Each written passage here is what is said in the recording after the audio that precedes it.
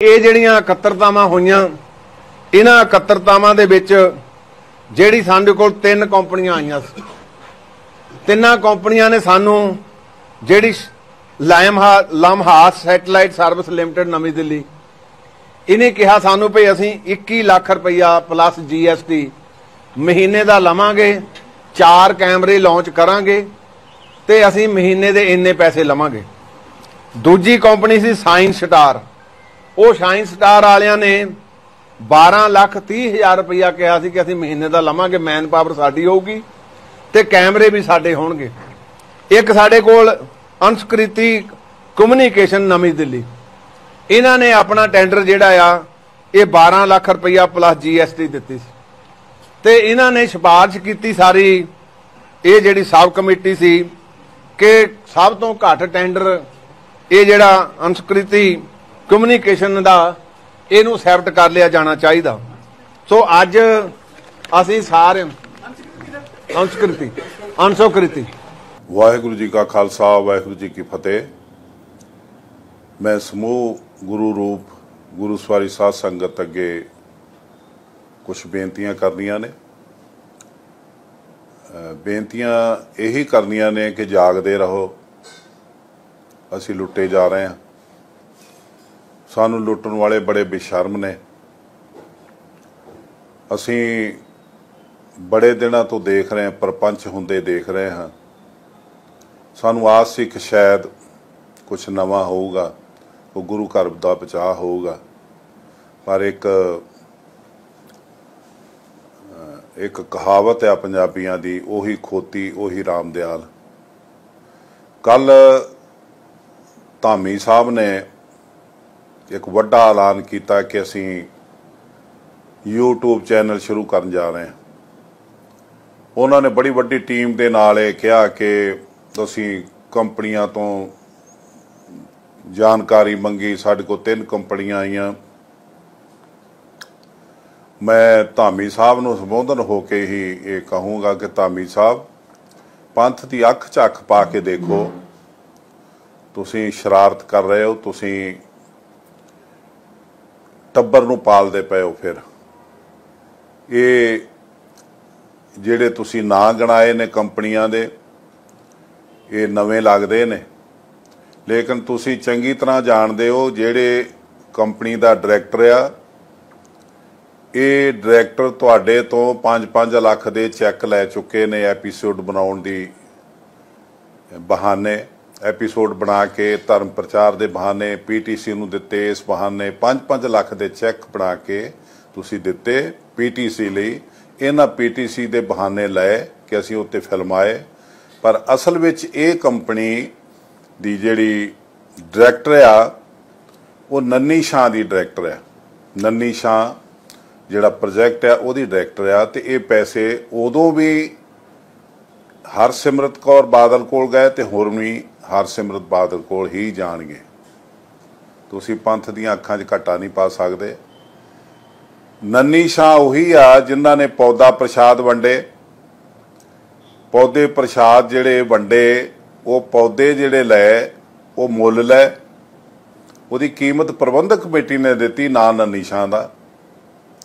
ਨੰਨੀ ਸ਼ਾਹ ਨੇ ਮਸ਼ੀਨਾਂ ਵੰਡੀਆਂ। ਸਾਬੋ ਕੀ ਤਲਵੰਡੀ ਮਸ਼ੀਨਾਂ ਦੀ ਪੇਮੈਂਟ ਪ੍ਰਬੰਧਕ ਕਮੇਟੀ ਨੇ ਦਿੱਤੀ, ਨਾ ਨੰਨੀ ਸ਼ਾਹ ਦਾ।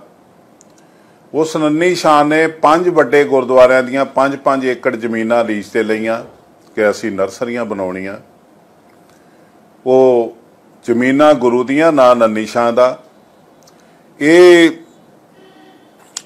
ਚੰਚਲ ਕੌਸ਼ਕ, ਰਜੀਵ ਕੌਸ਼ਕ ਮੀਆਂ ਬੀਬੀ ਜਿਹੜੇ ਨੇ, ਜਿਨ੍ਹਾਂ ਦੇ ਤੁਸੀਂ ਨਾਂ ਲਏ ਨੇ ਚੰਚਲ ਕੌਸ਼ਕ ਬੀਬੀ ਜਿਹੜੀ ਆ, ਇਹ ਹਰਸਿਮਰਤ ਦੀ, ਨੰਨੀ ਸ਼ਾਹ ਦੀ ਡਾਇਰੈਕਟਰ ਹੈ।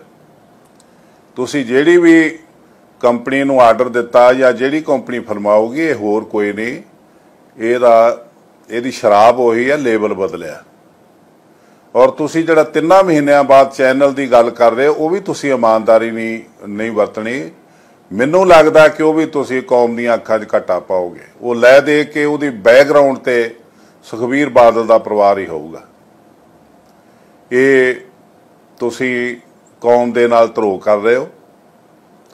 ਮੈਂ ਤੁਹਾਨੂੰ ਤੇ ਹੁਣ ਕੀ ਕਹਿਣਾ, ਤੁਸੀਂ ਨਾ ਕਦੀ ਜਵਾਬ ਦਿੱਤਾ ਤੇ ਨਾ ਦੇਣਾ। ਹੈ। ਤੇ ਮੈਂ ਤੁਹਾਡੇ ਤੋਂ ਜਵਾਬ ਲੈਣ ਲਈ ਪਾਬੰਦ ਆ ਮੈਂ ਸਿੱਖ ਕੌਮ ਨੂੰ ਜਗਾਉਣਾ ਚਾਹੁੰਦਾ ਹਾਂ ਕਿ ਉੱਠ ਜਾਵੇ। ਤੁਹਾਡੇ ਕੋਲ ਬਹੁਤ ਜਵਾਬ ਲੈਣੇ ਨੇ ਜਿਹੜਾ ਜਿਹੜੀ ਸਾਡੀ ਪ੍ਰਬੰਧਕ ਕਮੇਟੀ ਘੁਣ ਦੀ ਤਰ੍ਹਾਂ ਖਾਧੀ ਜਾ ਰਹੀ ਆ ਤੇ ਇੱਕ ਤੋਂ ਬਾਅਦ, ਇੱਕ ਇੱਕ ਤੋਂ ਬਾਅਦ ਇੱਕ ਘੁਟਾਲੇ ਨਿਕਲਦੇ ਪਏ ਨੇ।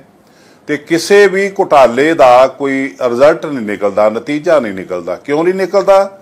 ਕਿਉਂਕਿ ਤੁਸੀਂ ਕਿਸੇ ਵੀ ਘੁਟਾਲੇ ਦੀ ਐਫ ਆਈ ਆਰ ਦਰਜ ਨਹੀਂ ਕਰਾਉਂਦੇ। ਤੁਸੀਂ ਪੁਲਿਸ ਕੋਲ ਨਹੀਂ ਜਾਂਦੇ। ਜਦੋਂ ਪੁਲਿਸ ਕੋਲ ਜਾਓਗੇ ਉਦੋਂ ਥੱਲੇ ਤੋਂ ਲੈ ਕੇ ਉੱਤੋਂ ਤੱਕ ਗਲੇ ਨਿਕਲੋਗੇ, ਪਾਪੀ ਨਿਕਲੋਗੇ ਤੁਸੀਂ ਦੋਸ਼ੀ ਨਿਕਲੋਗੇ। ਤੁਹਾਨੂੰ ਹੱਕ ਨਹੀਂ ਹੋਊਗਾ ਤੁਸੀਂ ਇਹਨਾਂ ਸੰਸਥਾਵਾਂ ਦੀ ਸੇਵਾ ਕਰ ਸਕੋ। ਮੈਂ ਤੁਹਾਡੇ ਤੇ ਇਹ ਦੋਸ਼ ਲਾ ਰਿਹਾ ਕਿ ਜਿਹੜਾ ਤੁਸੀਂ YouTube ਚੈਨਲ ਬਣਾ ਰਹੇ ਹੋ, ਲਗਾ ਰਹੇ ਹੋ, ਇਹਦੇ ਭਾਵੇਂ ਕੁਝ ਵੀ ਉਹ ਨਾ ਲੈਣ, ਪਰ ਇਹ ਹਰ ਸਿਮਰਤ ਬਾਦਲ ਦਾ, ਇਹਦੇ ਪਿੱਛੇ ਜਿਹੜੀ ਵੀ ਕੰਪਨੀ ਉਹਨਾਂ ਦੇ ਨਾਂ ਰੱਖ ਕੇ ਤੁਹਾਨੂੰ ਦਿੱਤੀ ਹੈ, ਉਹ ਸੁਖਵੀਰ ਬਾਦਲ ਦਾ ਹੀ ਆ ਤੇ ਸੁਖਵੀਰ ਬਾਦਲ ਨੇ ਤੁਹਾਡੇ ਕੋਲੋਂ ਪੈਸੇ ਇਸ ਸਿੱਧੇ ਢੰਗ ਨਾਲ ਨਾ ਲੈਣਗੇ, ਟੇਢੇ ਢੰਗ ਨਾਲ ਲੈ ਲੈਣਗੇ। ਜਿਸ ਤਰ੍ਹਾਂ ਪਹਿਲਾਂ ਲੈਂਦੇ ਸੀ 12 ਕਰੋੜ ਦਾ ਉਹ ਲਾ ਲਿਆ ਸ਼ਾਮਿਆਨਾ। ਕਦੀ 5-5 ਲੱਖ ਦੇ ਉਹ ਐਪੀਸੋਡ ਬਣਾ ਕੇ ਤੁਸੀਂ ਪ੍ਰਬੰਧਕ ਕਮੇਟੀ ਵੱਲੋਂ ਪੇਮੈਂਟ ਕਰ ਦਿੱਤੀ ਤੇ ਇਸ ਤਰ੍ਹਾਂ ਤੁਸੀਂ ਦਿਓਗੇ ਤੇ ਉਹ ਲੈਣਗੇ। ਮੈਂ ਤੁਹਾਨੂੰ ਜਿਹੜੀ ਖਾਸ ਗੱਲ ਅੱਜ ਮੈਂ ਸੰਗਤ ਦੇ ਸਾਹਮਣੇ ਵੀ ਕਰਨੀ, ਤੁਹਾਡੇ ਸਾਹਮਣੇ ਵੀ ਕਰਨੀ ਹੈ ਕਿ ਤੁਸੀਂ ਜਿਹੜੀ ਜਿਹੜੀ ਝੂਠ, ਜਿਹੜੀ ਜਿਹਨੂੰ ਅਸੀਂ ਸ਼ਾਨਬੂਰਾ ਕਹਿ ਸਕਦੇ ਹਾਂ, ਜਿਹਨੂੰ ਬੰਗਲ ਦੀਆਂ ਰੋਟੀਆਂ ਕਹਿ ਕੇ ਅਸੀਂ ਚੱਲੀਆਂ ਗੱਲਾਂ ਕਿ ਇਹ ਖਾਧੀਆਂ ਗਈਆਂ, ਕਰੋੜ ਰੁਪਈਆ ਦੇ ਵਿੱਚੋਂ ਖਾਧਾ ਗਿਆ। ਉਹ ਕਰੋੜ ਰੁਪਈਆ ਜਿਹੜਾ 19 ਤੋਂ ਲੈ ਕੇ ਤੇ ਅੱਜ ਤੱਕ ਦਾ ਇੱਕ ਕਪਲਾ ਤੁਸੀਂ ਕਹਿੰਦੇ ਹੋ, ਇਹ ਕਪਲਾ ਨਹੀਂ ਕਿ ਸਿੱਧੇ ਸਿੱਧੇ ਪੈਸੇ ਜਿਹੜੇ ਜਿਹੜੇ ਤੈਅ ਹੋ ਗਏ ਕਿ ਇੰਨੇ ਪੈਸੇ ਪ੍ਰਬੰਧਕ ਕਮੇਟੀ ਦੇ ਸ਼ਾਨਬੂਰੇ ਦੇ ਸੁੱਕੀਆਂ ਰੋਟੀਆਂ ਦੇ ਬਣਦੇ ਆ। ਉਹ ਪੈਸੇ ਚੈੱਕ ਬਣ ਗਿਆ। ਚੈੱਕ ਜਿਹੜਾ ਕੈਸ਼ੀਅਰ ਕੋਲ ਜਮਾ ਨਹੀਂ ਹੋਇਆ। ਜਿਹੜਾ ਸਟੋਰ ਕੀਪਰ ਉਹਨੇ ਕਰਵਾਇਆ ਨਹੀਂ। ਜਦੋਂ ਕੁਝ ਦਿਨ ਨਹੀਂ ਕਰਵਾਇਆ, ਚੱਲ ਗਿਆ ਤੇ ਉਹ ਚੈੱਕ ਨੂੰ ਵਾਪਸ ਦੇ ਕੇ ਉਹ ਤੋਂ ਕੈਸ਼ ਪੈਸੇ ਲੈ ਗਿਆ। ਤੇ ਜਦੋਂ ਹੁਣ ਹੌਲੀ ਹੌਲੀ ਨਿਕਲਿਆ ਮਾਮਲਾ ਕਾਗਜ਼ਾਂ ਦੇ ਵਿੱਚ ਲੈਜ਼ਰ ਬੁੱਕਾਂ 'ਚ, ਵੋਚਰਾਂ 'ਚ, ਤੇ ਉਦੋਂ ਨੰਗਾ ਹੋਇਆ। ਤੁਸੀਂ ਉੱਤੇ ਵੀ ਮਿੱਟੀ ਪਾਉਣ ਦੀ ਕੋਸ਼ਿਸ਼ ਕਰ ਰਹੇ ਹੋ। ਸਿਰਫ ਦੋ 19 ਤੋਂ ਲੈ ਕੇ ਅੱਜ ਤੱਕ ਸਿਰਫ ਦੋ ਸਟੋਰ ਕੀਪਰ ਨੇ ਜਿਨ੍ਹਾਂ ਦੀ ਇਹ ਜ਼ਿੰਮੇਵਾਰੀ ਸੀ ਕਿ ਪੈਸੇ ਜਮ੍ਹਾਂ ਕਰਾਉਣ, ਉਹਨਾਂ ਨਹੀਂ ਕਰਾਏ ਉਹ ਦੋਵੇਂ ਸਟੋਰ ਕੀਪਰ ਤੁਸੀਂ ਤੁਸੀਂ ਉਹਨਾਂ ਨੂੰ ਸ਼ੈਲਟਰ ਦੇ ਰਹੇ ਹੋ। ਇੱਕ ਨੂੰ ਤੁਸੀਂ ਬਾਹਰ ਭੇਜ ਚੁੱਕੇ ਹੋ, ਵਿਦੇਸ਼ ਭੇਜ ਚੁੱਕੇ ਹੋ, ਉਹਨੂੰ ਪੇਮੈਂਟ ਦੇ ਕੇ, ਉਹਨੂੰ ਕਲੀਅਰ ਕਰਕੇ ਭੇਜ ਚੁੱਕੇ ਹੋ, ਉਹ ਵਿਦੇਸ਼ ਵਿੱਚ ਬੈਠਾ ਜਿਸ ਤਰ੍ਹਾਂ ਕਿ 328 ਸਰੂਪਾਂ ਦਾ ਦੋਸ਼ੀ ਰੂਪ ਸਿੰਘ ਕੈਨੇਡਾ ਬੈਠਾ ਜਦੋਂ ਰੂਪ ਸਿੰਘ ਨੰਗਾ ਹੋ ਗਿਆ ਤੁਸੀਂ ਉਹਨੂੰ ਹਿਸਾਬ ਕਿਤਾਬ ਕਰਕੇ 26 ਲੱਖ ਦੀਆਂ ਕਿਤਾਬਾਂ ਦਾ ਦੇ ਕੇ ਉਹਨੂੰ ਕੈਨੇਡਾ ਭੇਜਤਾ। ਉਸ ਬੰਦੇ ਨੇ ਪੀਡੀਐਫ ਫਾਈਲ ਜਿਹੜੀ ਸੀ ਗੁਰੂ ਗ੍ਰੰਥ ਸਾਹਿਬ ਦੀ ਉਹ ਦਿੱਤੀ ਸੀ ਮਲਕ ਨੂੰ ਕੈਨੇਡਾ ਲਿਜਾ ਕੇ। ਉਸ ਬੰਦੇ ਨੇ ਸਲਿੱਪ ਦਿੱਤੀ ਸੀ ਕਿ ਇੰਨੇ ਸਰੂਪ ਚੁਕਾ ਦਿੱਤੇ ਜਾਣ। ਸਭ ਤੋਂ ਪਹਿਲੀ ਸਲਿੱਪ ਉਹਦੀ ਸੀ ਜਿਹੜੀ ਕਮਲਜੀਤ ਸਿੰਘ ਕੋਲ ਆਈ ਸੀ। ਤੁਸੀਂ ਉਸ ਬੰਦੇ ਨੂੰ ਵੀ ਭੇਜ ਦਿੱਤਾ ਤੇ ਇਸ ਬੰਦੇ ਨੂੰ ਵੀ ਭੇਜ ਦਿੱਤਾ। ਹੁਣ ਤੁਸੀਂ ਦੱਸੋ ਇੱਕ ਸਟੋਰ ਕੀਪਰ ਆ, ਉਹ 15000 ਰੁਪਇਆ ਤਨਖਾਹ ਲੈਂਦਾ ਹੈ ਤੇ 80 ਕਿਲੋਮੀਟਰ ਦਾ ਰੋਜ਼ ਸਫ਼ਰ ਤੈਅ ਕਰਕੇ ਆਉਂਦਾ ਹੈ ਤੇ ਉਹਦਾ ਸਫ਼ਰ ਹੁੰਦਾ ਪਜੇਰੋ ਗੱਡੀ ਤੇ। ਤੁਸੀਂ ਅੰਦਾਜ਼ਾ ਲਾ ਸਕਦੇ ਹੋ ਕਿ ਉਹ ਪੈਸਾ ਕਿੱਥੋਂ ਆਉਂਦਾ? ਤੁਹਾਨੂੰ ਪਤਾ ਨਹੀਂ ਉਹ ਪੈਸਾ ਕਿੱਥੋਂ ਕਮਾਉਂਦੇ ਨੇ। ਤੁਸੀਂ ਐਫ ਆਈ ਆਰ ਦਰਜ ਕਰਾਉਂਦੇ ਤੇ ਇਹਨਾਂ ਦੋਵਾਂ ਜਾਣਿਆਂ ਨੇ ਥਾਣੇ ਦੇ ਵਿੱਚ ਦੱਸਣਾ ਸੀਗਾ ਕਿ ਇਹ ਪੈਸੇ ਕਿਹਦੇ ਕਿਹਦੇ ਕੋਲ ਹਿੱਸੇ ਗਏ। ਇਹ ਕਰੋੜ ਰੁਪਇਆ ਕਿਹਦੇ ਕੋਲ ਗਿਆ? ਇਸ ਕਰੋੜ ਰੁਪਏ ਤੋਂ ਇਲਾਵਾ ਜਦੋਂ ਜਦੋਂ ਪਹਿਲਾਂ ਤੇ ਇਹ ਸ਼ਾਨਪੂਰਾ 80 ਗੁਰਦੁਆਰਿਆਂ ਦਾ ਸੁੱਕੀਆਂ ਰੋਟੀਆਂ ਤੇ ਸ਼ਾਨਪੂਰਾ ਜਦੋਂ ਵੇਚਦੇ ਸੀ ਤੁਸੀਂ 3 ਦਿਨਾਂ ਬਾਅਦ ਵੇਚਦੇ ਸੀ। ਫਿਰ ਹਫ਼ਤੇ ਬਾਅਦ ਆ ਗਏ। ਫਿਰ 3 ਹਫ਼ਤਿਆਂ ਬਾਅਦ ਆ ਗਏ। ਹੁਣ ਤੁਸੀਂ 3 ਮਹੀਨਿਆਂ ਬਾਅਦ ਵੇਚਦੇ ਹੋ। ਇਹ ਸ਼ਾਨ ਬੂਰਾ ਕੁਇੰਟਲਾਂ ਦੇ ਹਿਸਾਬ ਨਾਲ ਜਦੋਂ ਪਹਿਲਾਂ ਟਰਾਲੀ ਤੁਲਦੀ, ਫਿਰ ਟਰਾਲੀ ਤੇ ਤੋਲਿਆ ਜਾਂਦਾ, ਉਦੋਂ ਹੀ ਅੱਧੋ ਅੱਧ ਹੋ ਜਾਂਦਾ।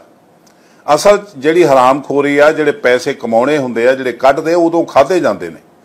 ਉਹਦੇ ਵੱਲ ਤੁਹਾਡਾ ਵੀ ਧਿਆਨ ਨਹੀਂ ਗਿਆ ਤੇ ਤੁਸੀਂ ਧਿਆਨ ਦੇਣ ਦੀ ਤੁਹਾਨੂੰ ਲੋੜ ਵੀ ਕੋਈ ਨਹੀਂ। ਪਰ ਸੰਗਤ ਜਾਣ ਲਵੇ ਕਿ ਅੱਧੋ ਅੱਧੀ ਉਦੋਂ ਹੋ ਜਾਂਦਾ, ਉਹ ਘਟਾਲਾ, ਉਹ ਆ ਜਿਹੜਾ ਅਜੇ ਤੱਕ ਨੰਗਾ ਹੀ ਨਹੀਂ ਹੋਇਆ ਤੇ ਨੰਗਾ ਹੋਣਾ ਸੀ ਜੇ ਇਹ ਦੋ ਸਟੋਰ ਕੀਪਰ ਤੁਸੀਂ ਇਹਨਾਂ ਦੀ ਐਫ ਆਈ ਆਰ ਦਰਜ ਕਰਾਉਂਦੇ ਤੇ ਪੁਲਿਸ ਇਹਨਾਂ ਨੂੰ ਥਾਣੇ ਲਿਜਾ ਕੇ ਪੁੱਛਦੀ ਕਿ ਪੈਸੇ ਗੁਰੂ ਘਰ ਦੇ ਕਿੱਥੇ ਗਏ। ਤੁਸੀਂ ਹੋਰ ਕੀ ਕੀ ਕਰਦੇ ਹੋ? ਤੁਹਾਡੇ ਤੋਂ ਹੋਰ ਕਿਹੜਾ ਕਿਹੜਾ ਆਦਮੀ ਹਿੱਸਾ ਲੈਂਦਾ?